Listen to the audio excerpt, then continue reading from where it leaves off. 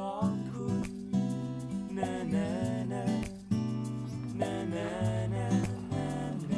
นะครับขอต้อนรับคุณผู้ชมกลับเข้าสู่รายการ Speed Talk นะครับทาง Speed Channel True Vision 691 นะครับ คุณผู้ชมที่มีปัญหาเรื่องรถก็สามารถโทรเข้ามาได้ที่หมายเลข 02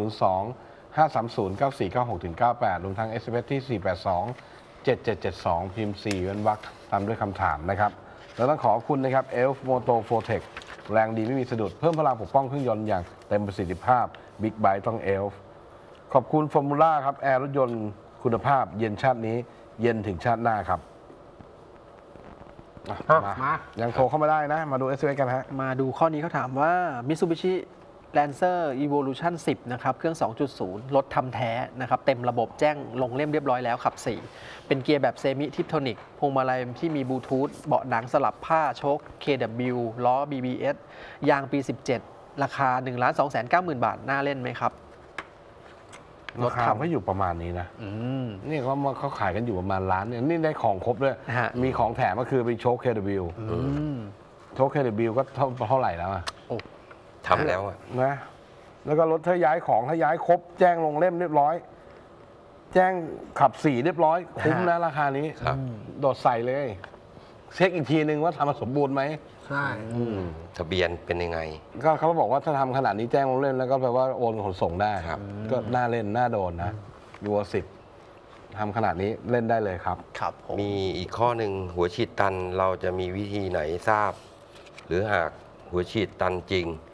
เราจะมีทำความสะอาดยังไงหัวฉีดรถอะไรอะฮะต้องดูหัวฉีดดีเซลเบนซินแต่จริงๆเอาง่ายๆอาการโดยรวม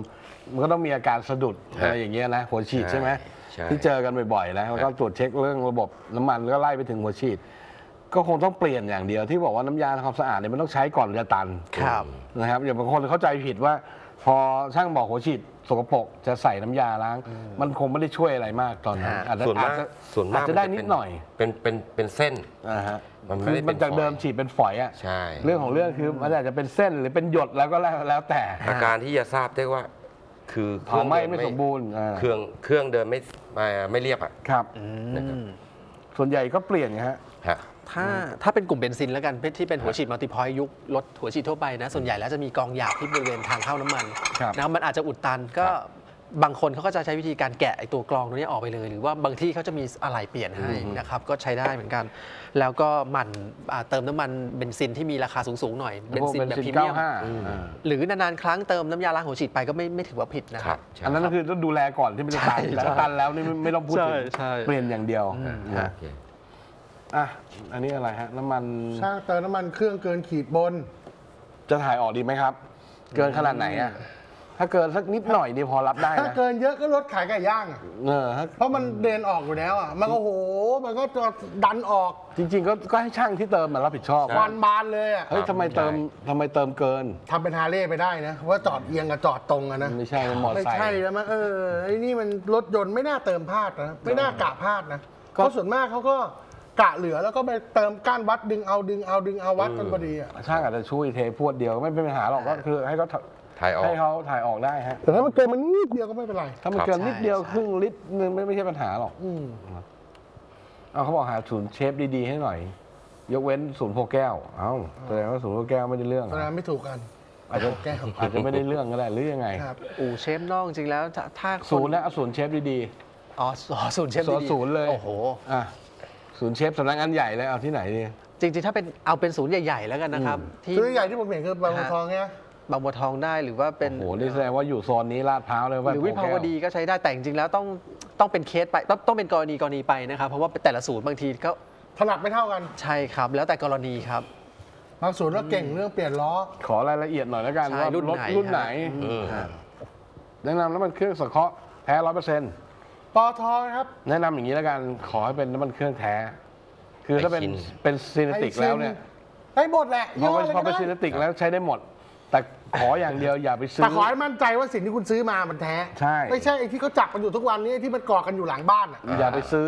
ของที่มันถูกผิดปกติ หรือว่าครับ ซื้อตามเว็บแต่เดี๋ยวนี้มันก็ฉลาดนะนะคนขายมันก็ไม่ขายถูกผิดปกติอะนะ มันขายต่างกัน 3 0 0ก็นี่ห้าก็เลยบร้ออกยซื้อตามเว็บตามอะไรเงี้ยแหล่งแหล่งที่มาไม่น่าผมเชื่อว่าถือย่างนี้อดีกว่า ซื้อตามร้าน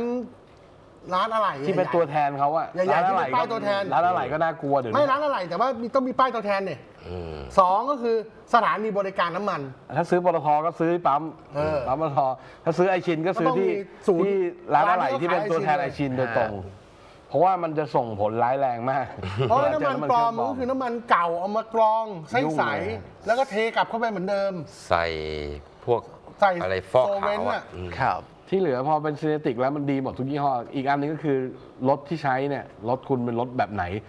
เบอร์เบอร์เบอร์ประมาณไหน คือใสไปก็ไม่ดีครับนะครับมาใสไปก็พังได้ รถรอบจัดเครื่องเทอร์โบ น้ำมันใสไปก็ไม่ใช่ว่าจะดีใช่หรือว่ารถเก่าฮะก็ไม่สมควรนะยางหน้า 2 4 5 4 0 18 ยางหลัง 2 6 5 30 18 35 18 ใช้ยางยี่ห้อไหนโอ้โหดี ทรงนี้รถเบนซ์แน่ ตระกูลพวก SL อะยางหลังคือคือเวลา ล้อหลังโมโหลานโมโหระทึกเนี่ย เวลาที่ไปซื้อยางเนี่ย ผมแนะนำอย่างหนึ่งว่า ไปถามเจ้าของร้านว่า วิ่งไปประมาณสักหมื่นโลเนี่ยไม่หรอกวันนี้ มันดังไหมวันนี้มันอย่างนี้พี่ ผมพูดผมเอาเอาในความรู้สึกผมนะ อืมคือวันนี้ผมมีความรู้สึกว่ายางเนี่ยมันมันเป็นยากกว่าสมัยก่อน อืม เพราะวันนี้มันมีตั้งแต่ยางไทยเยอะมากอะ ญี่ปุ่นยุโรป เกาหลี เกาหลีอินโดมาเลเมืองจีนไต้หวันของปลอม แล้วก็ยี่ห้อที่มันสารพัดกระจ้างขึ้นมาอีก ถูกป่ะ เพราะฉะนั้นถามผมวันนี้เหรอ ผมว่ามันต้องดูเยอะมากอะกว่าเดิมอะวันนี้ซื้อยางนะ และอีกอย่างหนึ่งอะวันนี้คนเนี่ยพอเราเจอโปรโมชั่นแล้วมันเขวอืม ถูกป่ะ เวลาเจอโปรโมชั่นแล้วแบบสมมติว่าวันนี้จะดิ่งไปซื้อแบบเอาสมมติยางตลาดยางในราคาบ้างแต่ว่าราคามันต่างกันเยอะ อย่างไซส์นี้เนี่ยมันมโหฬารนะ ยางหน้า 2 4 5 อัน4นี้มัน0ยางหลังนอกยางนอกอย่างเดียวเลยยางนอกอย่างเดียวมันจะมีครับ ช้อยให้เลือกไม่เยอะอันยางเนี้ยจีนก็จะได้ยางจีนขึ้นมาอีกอีกชุดหนึ่ง ก็อันจริงๆอยากให้ตัดเพราะว่ารถขนาดนี้ควรจะน่าจะเป็นรถเพราะที่ว่ามี performance อันเนี้ยล้อหน้าต้องมี 9 นิ้วล้อหลังต้องมีเกือบ12 รถคันนี้รับรองว่าเป็นรถที่มี performance ใส่ล้อขนาดนี้ เพราะฉะนั้นฮะ ควรจะเลือกยางเหลือไม่กี่ยี่ห้อแล้วดันหลบ มิชพิลาลิรี่นยี่ห้อหลักมิชลินยี่ห้อหลักนะอ่าประมาณนี้ที่เหลือฟาวเคนที่เหลือก็ตามงบแล้วกันเอาว่าโลประมาณโก้สักดันหลบหมื่นโลเนี่ยแล้วไม่ดังอะอืมผมเอาขนาดนั้นอะที่ผมซื้อยางนะ ประมาณนั้น แล้วก็ยางเอาสดขออนุญาตรับสายดีกว่ารับสายคุณสนอฮะเสนาคุณซีนาสวัสดีครับๆตกลงสวัสดีชื่ออะไรครับคุณเสนาได้ยินไหมครับ ครับครับผม สวัสดีพี่ๆนะครับ ครับ อ่า ผมเล็งอะไรนะบอลโว่ CX 90 หรือเปล่า X4 ครับ90นะฮะครับ วอลโวอะ ยังไงฮะ กับ อ่า ราคาอะไรนะสี่ล้านสี่หรือเปล่าสี่ล้านห้าใช่ไหมครับ สี่แปดกว่าหรือห้าล้านสองไม่ใช่เหรอฮะประกอบในครับ ครับ อ๋อครับ กับ Z4 Z4 BM ครับอืม โอ้โห โอ้โห รถมันคนละประเภทกันเลยนะพี่ อ่าอันนั้นผมเข้าใจครับ อ่า คือมองไว้สองคันเนี้ย ครับแล้วคุณเสนาใช้งานไงครับ ก็คือว่าผมมีอ่า SUV อยู่แล้วไง อ๋อ มีอะไรนะครับ SUV ยูวีมีรถอะไรอยู่อะคุณคุณเสนามีรถอะไรอยู่อ่าแล้วอ่าปาเจโร่ขับขับสี่ครับ อือฮึอ่ามีปาเจโร่ตัวไหนครับปาเจโร่สปอร์ตเนี่ยเหรอครับขับสี่ครับปาเจโร่สปอร์ตแล้วกะขายคันนี้ไหมอะไรนะครับ กะขายคันนี้ไหมหรือว่าไม่ขายปาเจโร่สปเอออร์ตไม่ไม่ไม่ขายครับอะแล้วคุณเสนาใช้ยังไงมีครอบครัวรถคันเนี้ยที่ตั้งใจจะซื้อมาเนี่ยวัตถุประสงค์คือ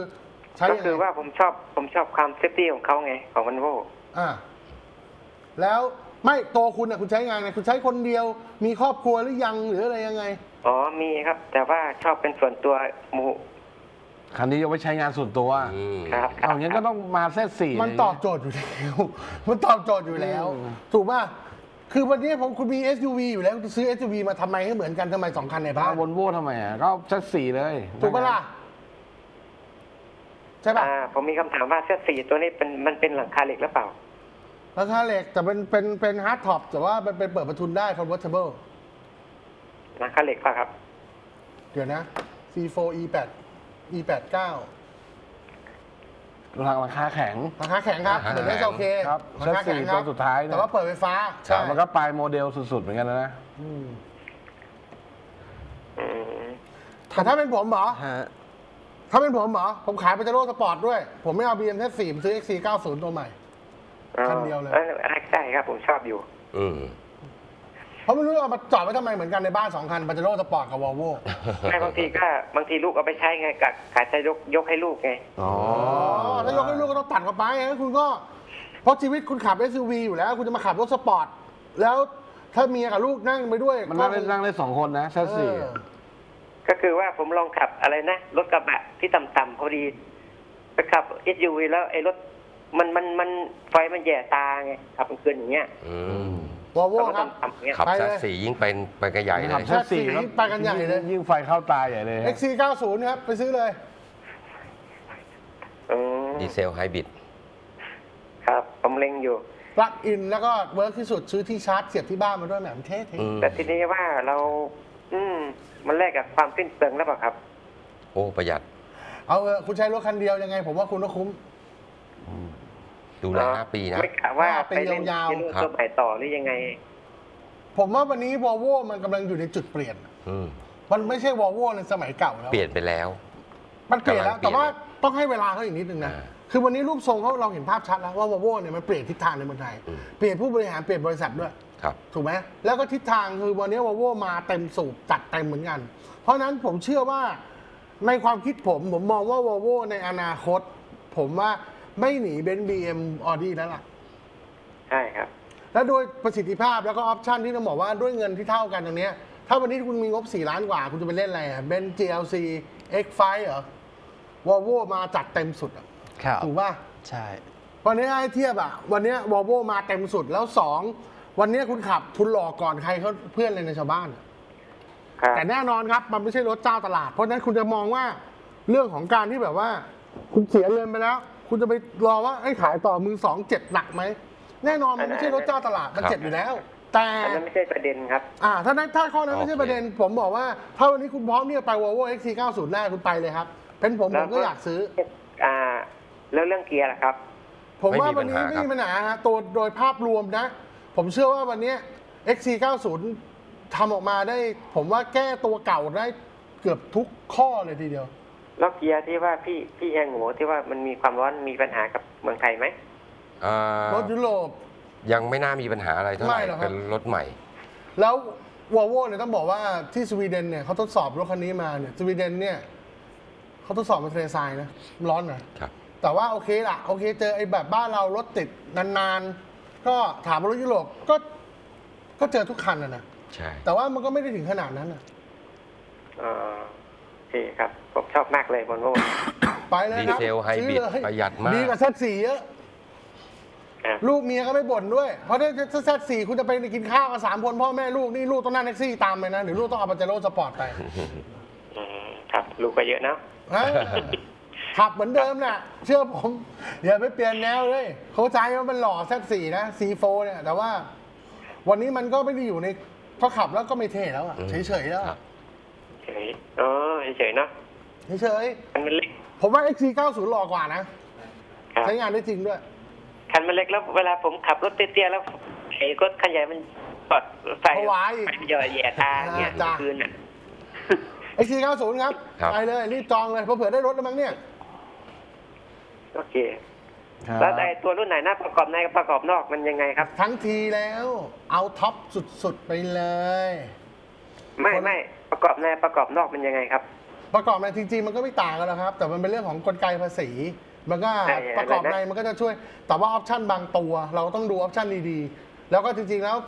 ผมเชื่อว่าวันนี้ Volvo รุ่นใหม่พร้อมต่อรองให้อยู่แล้ว คุณต่อรองได้เยอะๆคุณเจนาคุณอยากได้อะไรคุณขอเข้าไปเลย แล้ววันนี้เขามาแบบ warranty แบบห้าปีไม่ต้องทำอะไรเลยอะฮะ เขาจัดเต็มให้หมดอะเห็นป่ะไม่ต้องจ่ายอะไรเลย ซ่อมให้หมดทุกอย่าง ใช่ แล้วผมว่าคุ้มนะ อ๋อแล้วก็ขอส่วนลดขออะไรครับ ผมเชื่อว่าวันนี้วอลโวเปิดประตูบ้านเต็มที่ครับ เพื่อต้อนอยากได้คน welcome เต็มที่อยู่แล้ว อืม ผมว่าต่อรองมีมีส่วนลดมีดอกบงดอกเบี้ยต่ำมีอะไรอย่างเงี้ยผมว่ามี ผมว่าลดราคานี้มันคุ้มมากๆแล้ววันเยเนี้ยผมบอกว่าเท่าที่ผมคุยมากับตัวผู้บริหารวอลโวไปดูดีๆนะอะคุณอาจจะได้ศูนย์เปอร์เซ็นต์ด้วยนะ เพราะวันเนี้ยแคมเปญปีนี้มันโหดมากนะศูนย์เปอร์เซ็นต์เกือบทุกค่ายนะ ผมว่าศูนย์เปอร์เซ็นต์ก็คุ้ม ตอนนี้เขาหนึ่งเปอร์เซ็นต์อยู่ ไม่แต่ว่าถ้าศูนย์เปอร์เซ็นต์สี่สิบแปดเดือนอย่างเงี้ยคุ้มนะคุ้มคุ้มอืมผแล้วมคู่ว่าคุแข่งยครับ work สุด คู่แข่งคู่แข่งคู่แข่งก็เบนซ์บีเอ็มออดี้ Q 5อ่าตัวเลือกเจ็ดด้วยนะ ตัเลือกที่คุ้มค่าครับ ก็ถ้าเอาเงินเป็นตัวตั้งเนี่ย Volvo ได้ได้เป็นรุ่นที่ใหญ่สุด แล้วก็ได้ของที่เยอะสุดออปชั่นครับมากไม่งั้นสุจะด เป็นรุ่นรุ่นรองรองลงมา เบนใช่เบนซ์บีเอ็มเนี่ยออดี้เนี่ยก็จะได้ ได้ตัวที่ยังไม่ใช่ตัวตัวตัวสุด ยังไม่ได้ตัวท็อปคุณไม่ได้ที่สุดของค่ายอะ และอีคกรับเรื่องหนึ่งเรื่องของบริการกับ service เนี่ยเขาให้จัดเต็มเลย ผมว่าคุ้ม คุณเสียเงินแค่ วันนี้คุณเอาตัวประกอบก็เอาห้าล้านบาทห้าล้านบาทวันนี้นะ คุณซื้อ X5นะ คุณก็ไม่ได้ท็อป อืมถูกว่า คุณซื้อเบนซ์ GLG GLE ก็ไม่ก็ไม่ท็อป ครับ ถูกป่ะ ซื้ออะไรอะ Cayenne ซื้อไม่ได้ ครับ ได้มือสองซื้อป่ะออดี้ Q7 ก็ไม่ได้ตัวท็อปแต่วอลโวมาเต็ม ดีเซลไฮบริด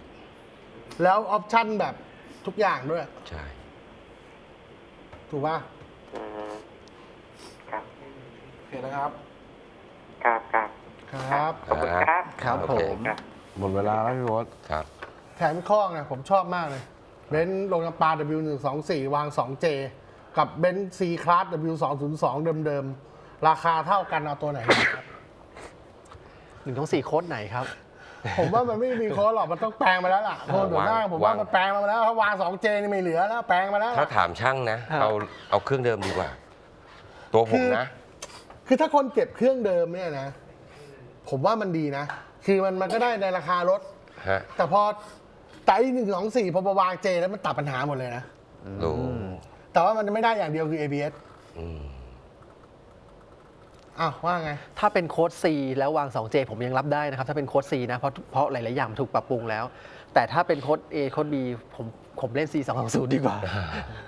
เดิม 2J ต้องดู 2J ธรรมดาหรือ 2J เทอร์โบ แล้วเป็น 2J เทอร์โบสายซิ่งก็ไป1 2 4เลย อ่า แรงขับสนุกมันแน่นอน อ่าเปลี่ยนแต่ถ้าเป็นเครื่อง 2J ท้ายชุดแบบหลังเป็นสกายไลน์ถ้าเป็น 2J ไม่โบก็ขับ C 220ดีกว่า เพราะไม่ได้ต่างอะไรกันมากอ๋ออาจจะไปติดแก๊สวิ่งยาวมันบอดี้มันเก่าแล้วให้เป็นข้อคิดแล้วไปคิดเองบอดี้มันเก่าไงถ้า1 2 4ถ้าเป็น 2J เทอร์โบก็เป็นรถซิ่งก็ว่าอีกเรื่องๆอะโอเคครับ วันนี้หมดเวลาเดี๋ยววันนี้พวกเราสี่คนลาไปก่อนพบกันใหม่วันพรุ่งนี้กับรายการนิสปีดทอ k ทางสปีดช n แนลทูชั่นหกเก้าหนึ่งนอนหลับฝันดีราตรีสวัสดิ์สวัสดีครับ